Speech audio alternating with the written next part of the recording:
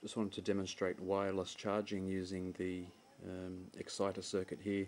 It's running on about 15 volts. The capacitor is out of a disposable camera, 80 microfarad 300 volt. That's the capacitor there. That ground I'm using the house ground through the television aerial.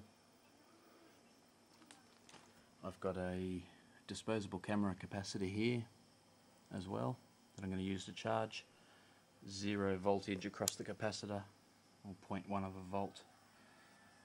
So I'm just going to connect up the exciter. I've got an Avramenko plug here. It's well, it's just two diodes actually. The the capacitor completes the circuit, and I just have to hold that near the tower. Now the field around that tower is being picked up through the diode. You can see the capacitor voltage climbing rapidly. And so the one diode points in, that goes into the positive end of the cap.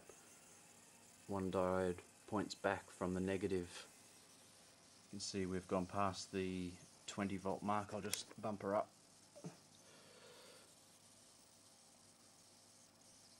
So it's climbing nice and fast.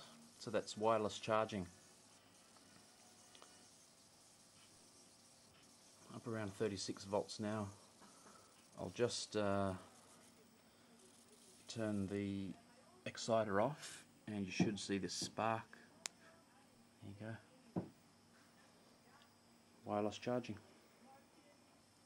Just so you can see the voltmeters on the 1000 volt range zero volts. I've just got um, the voltmeter going across two diodes now just so you can get an idea of the field that's around um, the tower. So I just hold that up to the tower.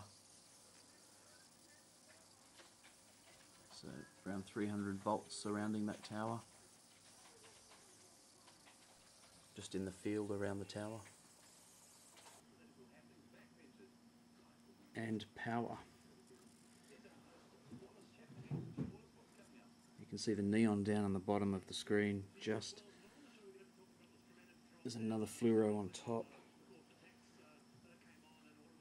If I touch the bulb I get more power. So there we go. Plenty of light from this baby. I'm still getting uh, plasma production. Don't know if you can see that or not. A little purple glow about there